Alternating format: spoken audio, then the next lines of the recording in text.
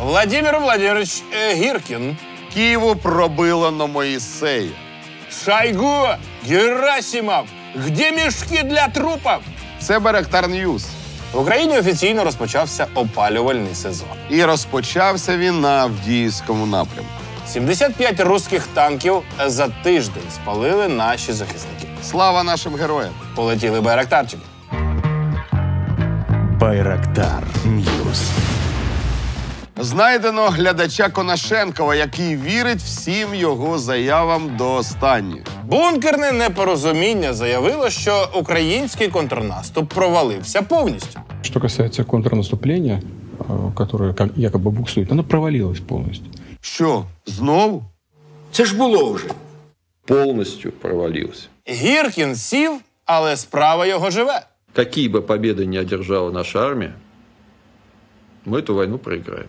Які заяви у стилі Гіркіна будуть далі? Я создаю клуб рассерженных диктаторов. Там все, кому не хочется в Гаагу. М, Пока я и Лукашенко, потому что м, Янукович не вступает. Хитрый гусь. Говорит, срезался еще на Майдані і по війні не при ділах. Може, Путіну справді доповідає, що все гаразд і Рашка перемагає. Оточення Путіна теж зрозуміти можна. Якщо йому говорити всю правду, то ніяких валіз не напасешся. Наши войска улучшают свое положение. Ведь если отступить на 10 километров назад, то потерь меньше. А скажите, а это правда, что впервые удалось уничтожить боевых гусей? Спасибо. Э, правда. Э, 458 э, гусей, 730 э, голубей и воробьев и синиц около 18 тысяч. Это разных пород и видов. Э, Более того, НАТО тайно перебросили боевых страусов и пингвинов и фламинго. Но мы их щелкаем как крокодильи яйца. Так що продовжуй жити в своїй бункерній фантазії, в якій контрнаступ провалився. Я б сказав, навіть вилетів в трубу та врізався в Чорноморський флот.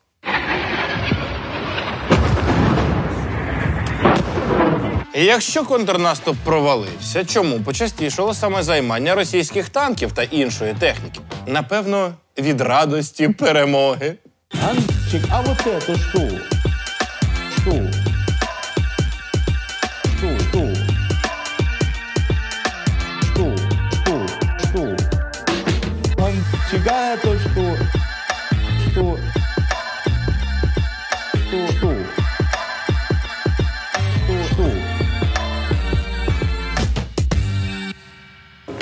Щодня майже тисяча москалів особисто бачать, як і в якому саме напрямку контрнаступ провалюється.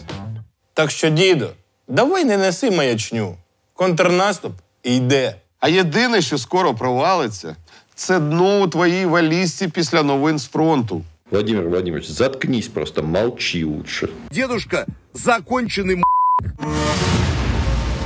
Сань, відгадай загадку. Е, е, Що це таке? На що подивишся і одразу автоматично посміхаєшся? Кохана жінка, Ні. велика зарплатня. Та ні. Мертвий Путін. Ну ні. Ну тоді здаюсь. Правильна відповідь пародія Юрія Великого в Байрактар News. Добрый день, Сергей Корнеплодович. Здравствуйте, Владимир Владимирович. Как раз звонил вам с утра, у вас было занято. Да я в курсе. Я в тот момент общался с министром финансов Силуанусом. Ой, в смысле, Силуановым. Мы с ним снова обсуждали стабилизацию курса рубля. Пока он не рухнул. Это очень правильно, потому что 102 рубля за доллар – это просто, на мой взгляд, грабеж.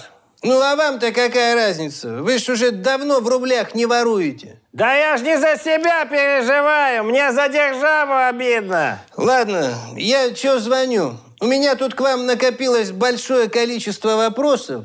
Вы не поверите, но у меня к вам накопилось большое количество ответов.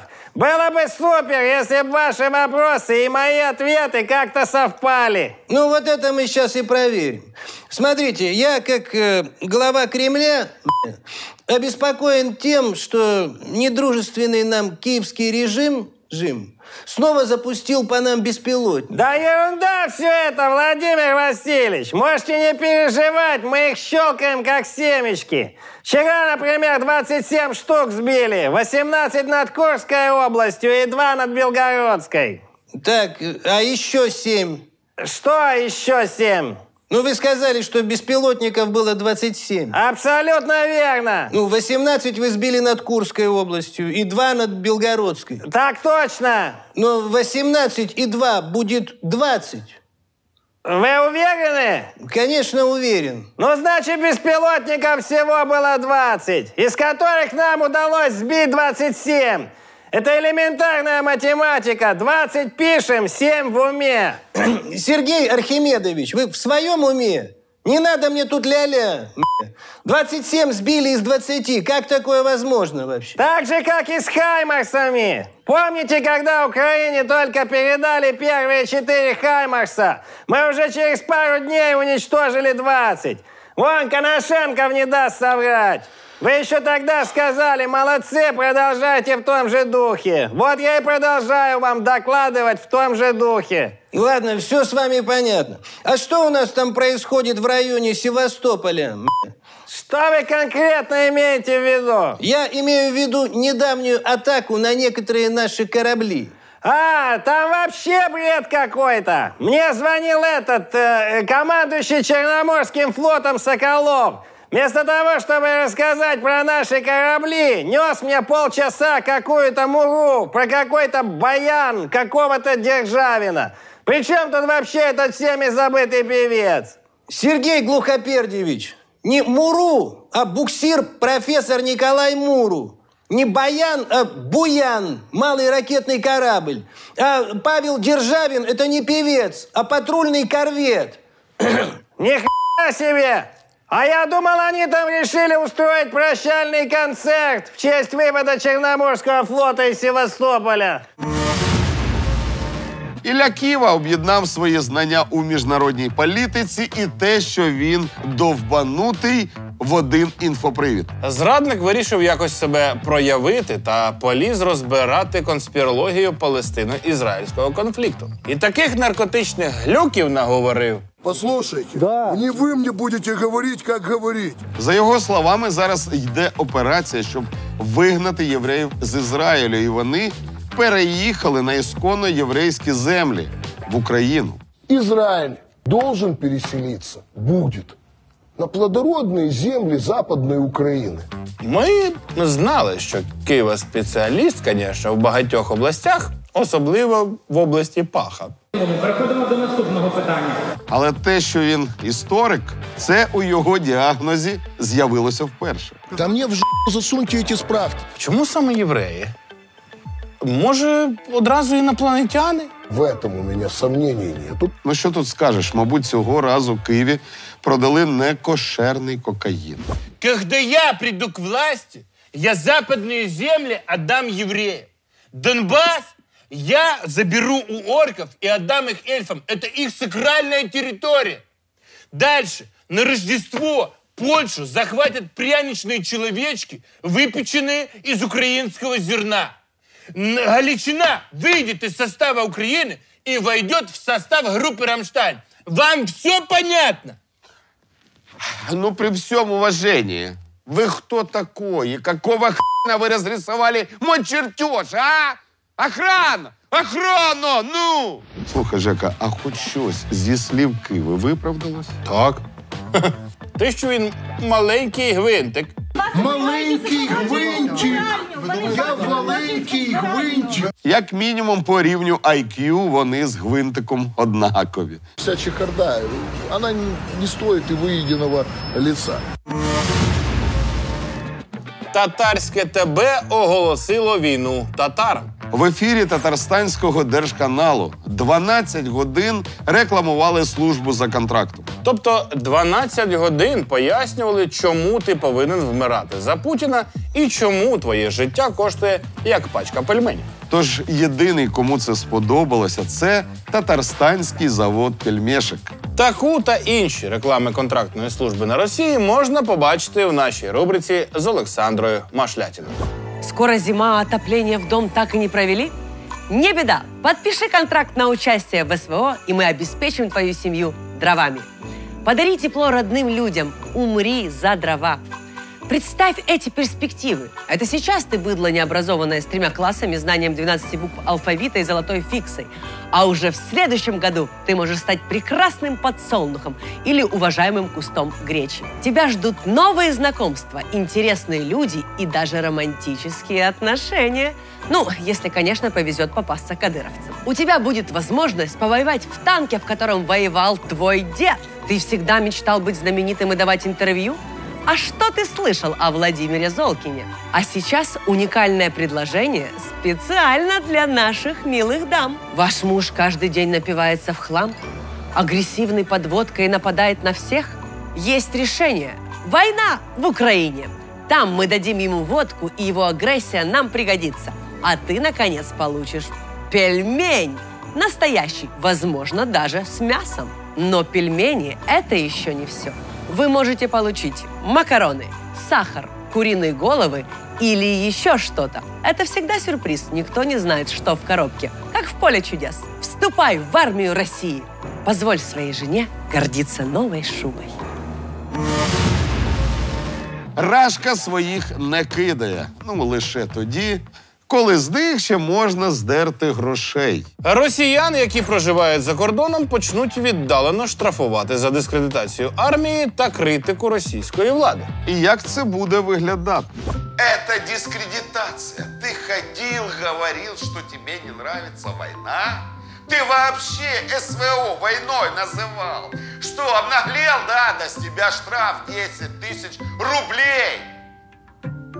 Ты, ты, ты куда меня закрываешь? Ты, ты обнаглел. Это неуважение к органам власти. Еще 10 Вообще уже с ума сошли. Уже по зуму меня штрафуют.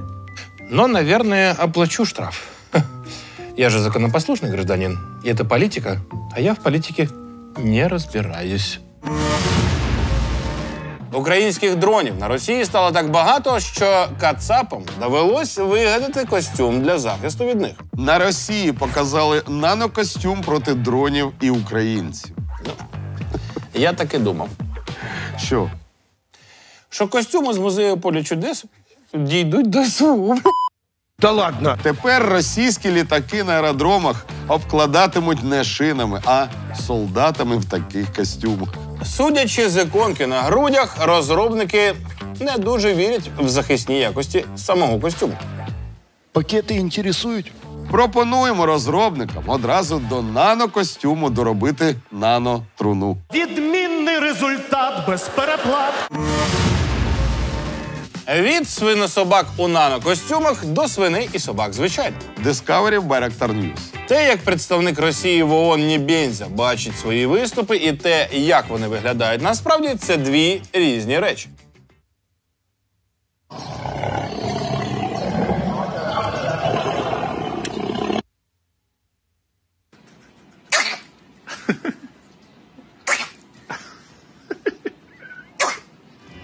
Путін приїхав в гості до Сі Цзіньпіна.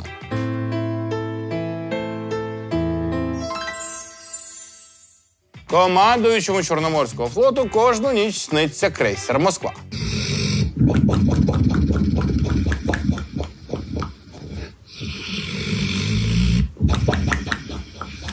Коротко про політичну кар'єру Арестовича.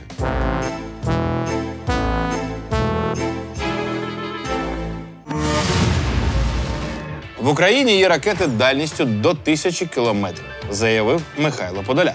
Ти знаєш, до Валдаю десь 900 кілометрів. Отже, комусь терміново потрібна буде валізка побільше. І якщо хтось з півночі спробує атакувати наші енергооб'єкти, Вони отримають гідну відповідь, де б вони не знаходились. Або вколюючи собі ботокс у башті Кремля, Або підтираючись лопухом біля сортирної ями під Рязанью. бо українці за 600 днів війни стали профі у справі давати відсіч. Слава Україні! Героям слава! Світить місяць над водою, а сонця немає. Мати